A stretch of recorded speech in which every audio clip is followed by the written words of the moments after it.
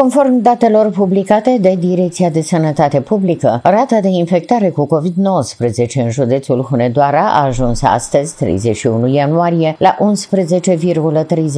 11,36 la mie de locuitori. La începutul acestui an, rata era de 0,69 la mie și a cunoscut o creștere accentuată în ultima săptămână, crescând cu mai bine de 4%. Specialiștii estimează că acest trend va continua, dar lucru îmbucurător lor încă nu este o presiune pe spitale, fiind ocupate doar aproape 37% dintre paturile destinate pacienților cu COVID, formele actualei tulpini ale bolii nefiind unele extrem de severe. Pentru reducerea riscului de infectare, Sebastian Mezei, directorul DSP Hunedoara, recomandă în continuare respectarea normelor de siguranță sanitară aflate în vigoare pe perioada stării de alertă și vaccinarea anti-COVID.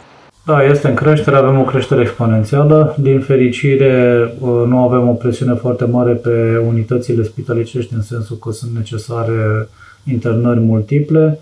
Uh, recomandarea este să se păstreze cât se poate de mult uh, regulile de protecție împotriva acestui virus și vaccinarea care ne protejează de a face forme grave sau severe.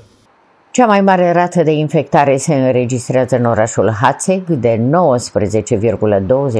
la mie de locuitori, următoarele patru locuri în acest nedorit top fiind ocupate de alte localități urbane, respectiv Simeria, Deva, Hunedoara și Orăștie, toate cu rată de peste 14 la mie de locuitori. La comune, cea mai mare rată este la Baru, iar localitatea urbană cu cea mai mică incidență este Aninoasa. Din cele 69 de unități unități administrativ-teritoriale hunedorene, două, respectiv Lăpugiu de Jos și Burjuc, au o rată mai mică de 3 la mie, iar în alte patru, adică în comunele Balșa, Bătrâna, Blăjen și Lelese, nu sunt înregistrate cazuri de COVID.